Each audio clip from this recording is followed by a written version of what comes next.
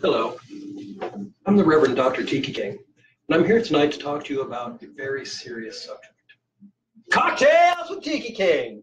Hey, I want to welcome you all to what is the first of hopefully a long-running internet series that will probably never be called the greatest show on earth, but we're going to give it a try. We're going to have some fun. We're going to make some cocktails, which is something I happen to know a little bit about. Um, and I'm going to hopefully share that knowledge with you, and we're going to have fun doing it. And uh, I'm going to drink, and you guys are going to follow along at home and make some of the drinks that I'm making. And if you can't remember how they go, it's all on my website. So, so there you go. Hey, I just want to say thanks for tuning in. I just want to say uh, thanks for tuning in. Apparently, because I already said that. No. um, so what are we doing? What are we doing? Uh, this is a series that I thought would be fun to do because I like making cocktails. I like you guys who drink cocktails. I like making cocktails for you guys. So I'm going to show you how to make some of my favorite cocktails and tell you a little bit about them and where they come from and why I make them and what makes them delicious and that sort of thing. And hopefully uh, you guys will learn something if you're not careful.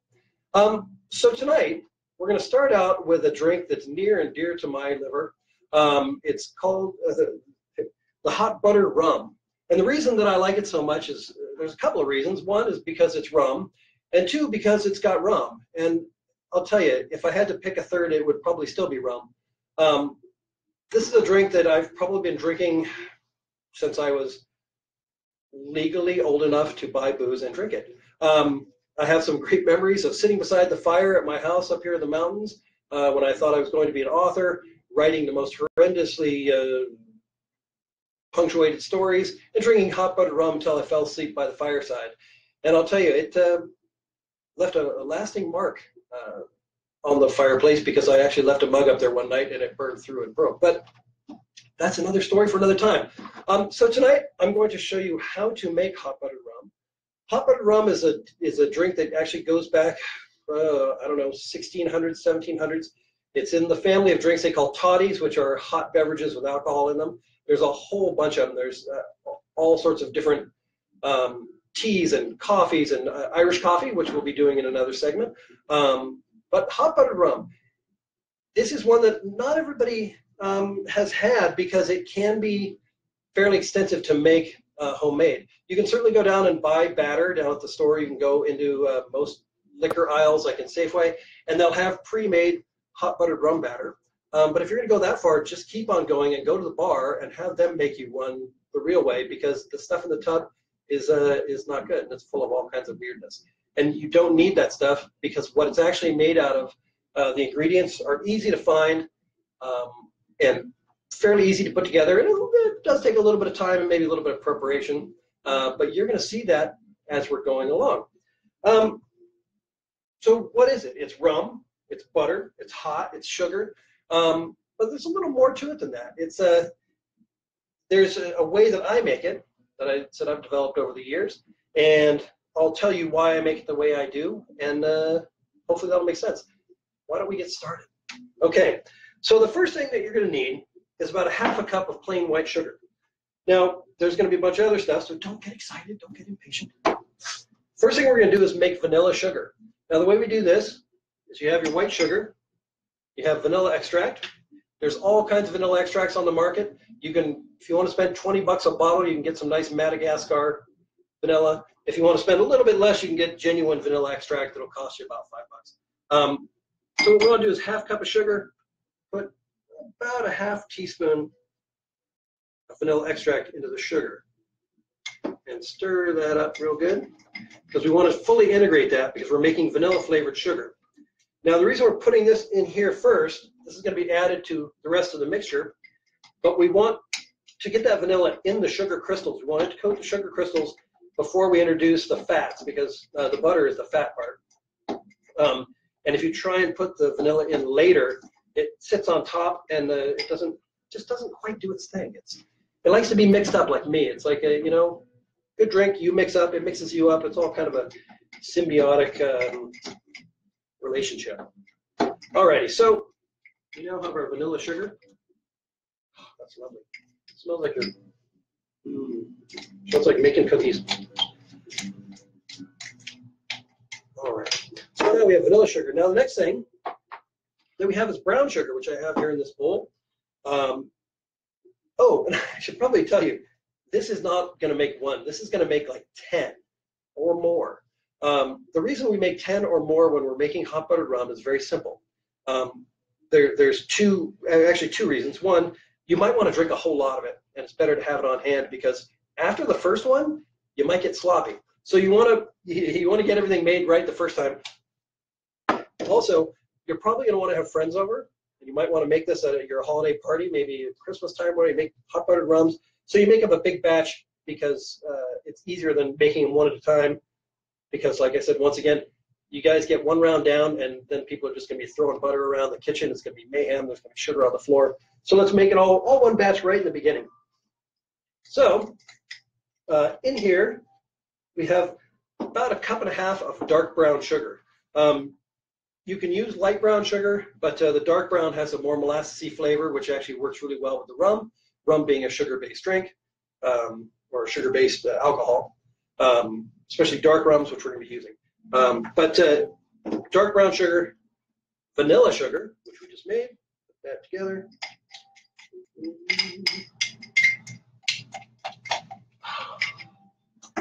Get that all mixed up in there.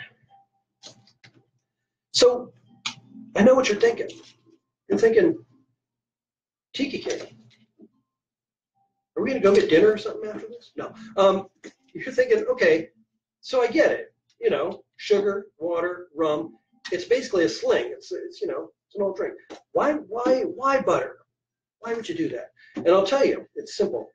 It adds a couple of things. One is that the uh, fats add a lot of what you call mouthfeel.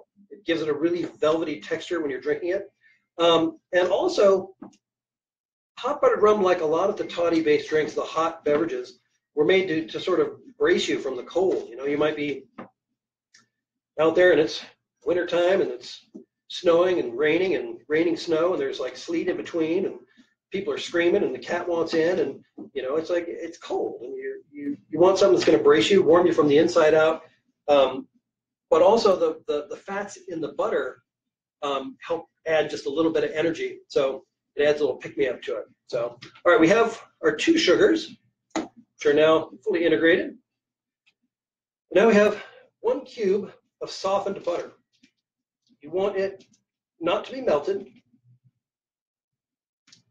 but you want it soft enough to easily mix in with your mixture here. Like I said, we're making a batch that's going to feed like 10. So there's a whole cube there. And then that has to just be, I'm playing pachinko back here apparently. I don't know what's going on. Um, so yeah, like I said, I used to, uh, I liked hot buttered rum so much in my youth, I would hitchhike into town to get a bottle of rum, go home. Sometimes, you know, wintertime, the power would be out. The beauty of it is you could stick the kettle on top of the fireplace and warm up the water. And this batter, like I said, the, they, they call it batter. It's, it's, I don't know what it is. It's not really a, a batter. It's more of like a, I don't know, greasy sugar concoction. Um, but they call it hot buttered rum batter. The batter will actually keep a long time. You can put it in a um, like a Tupperware container in your refrigerator, and you can literally, you know, if you make, if you're, you know, one of those people who lives alone and drinks alone and cries in your rum, um, you can make a batch of this and just have it in your fridge, waiting for that proper moment, and it will be your friend in those times of need. Just pull that out, make yourself a hot buttered rum, watch the fire, put the fire out if it's not supposed to be on fire. Have yourself a good time. So we got that, it's almost, that's almost ready.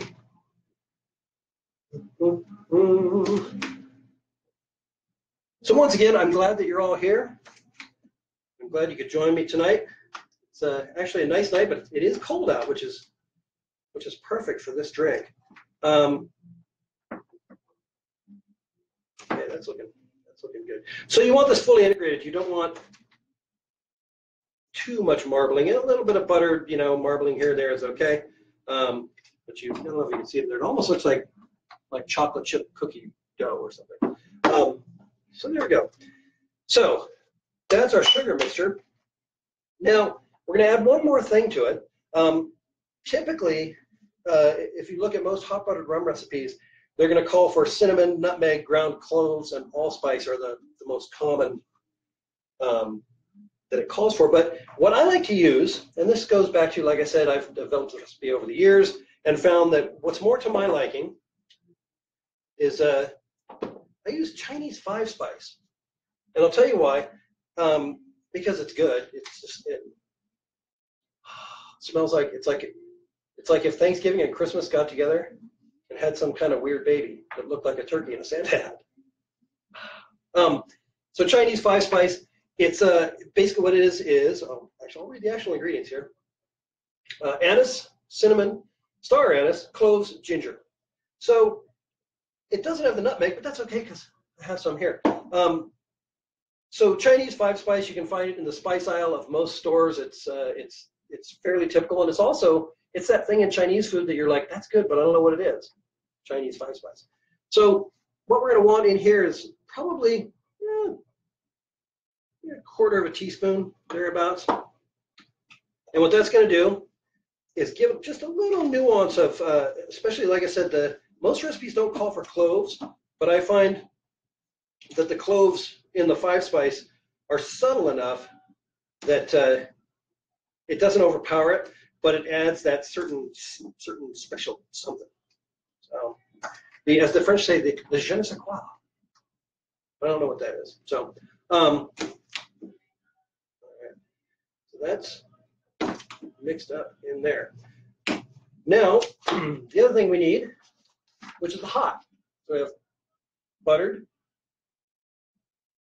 we have hot. We're doing this, I guess, in the wrong order. Uh, you want to use boiling water. Now this mug, this is actually called an Irish coffee mug. Um, it's made to withstand hot liquids. Uh, it's got the handle so you don't burn your fingers uh, or pick it up wrong and throw it on your guests, scalding them and causing them to leave, taking their presence with them. Um, and it has a foot on the bottom so you don't really need a coaster because it doesn't transfer the heat or the condensation. So here we have our Irish coffee mug. It's filled about uh, two thirds with boiled water. What we're going to want to do is put, um, here's the thing is this part is not all that crucial, but I put in basically two heaping teaspoons of this mix. And you can adjust that. You can, if you taste it and go, mmm, more, you can put more in. You can't take more out uh, but you could add, I guess, more hot water. Um, uh, that in there, and you can see the butter forming a nice little, nice little layer on the top there. All right.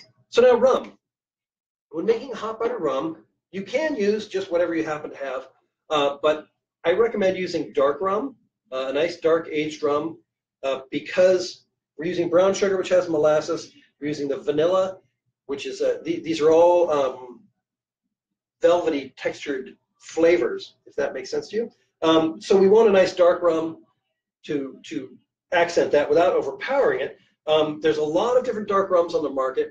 Uh, the añejos tend to be uh, a bit too, um, have a bit too much character as a mixer. Um, with apologies to Mr. Martin Cate, I'm going to use Bacardi Dark because I like it. Um, but uh, he would probably tell me to use Myers or something that's a bit has a bit more tooth to it, maybe a bit more molasses. Uh, but I think this is this is going to work fine for this because it's a uh, smooth drinking rum, and this is the Bacardi Black you can use, uh, the Bacardi Special. Um, I would stay, like I said, with the darks. Bacardi Gold, it's okay, but it needs just a hair more character than that. Um, so what we're going to do is drop my jigger. excuse me while I go down in the basement. There it is. Um, so to this, we're going to add two ounces dark rum. Mm. Now, if I made this right, and you're really quiet, you can almost hear Turk salivating out there in the internet. um, anyway, so there it is. Um, you might want to put in a, uh, a non-melting stir stick, like this flamingo, which is probably totally inappropriate, but it's what I happen to have back here. Um, now the enjoyment part. This is going to be. Here we go. Now we're going to see if I did this right.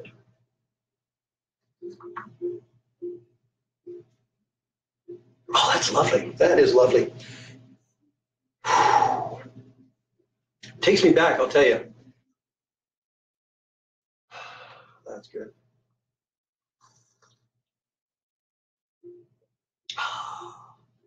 Well, here's to you guys. I want to say thank you for tuning in. Um, this recipe can be found on my website at tikiking.com in Tiki King's cocktail database. We're going to be doing this show weekly on Tuesday nights at 8 o'clock. I'll be posting each one. Uh, there will be live ones spread out here and there. Some other ones will be pre-recorded. That's okay because I'll be here, you'll be here, we'll all be here together separately, but having good cocktails. And I just want to say good night and good drinking.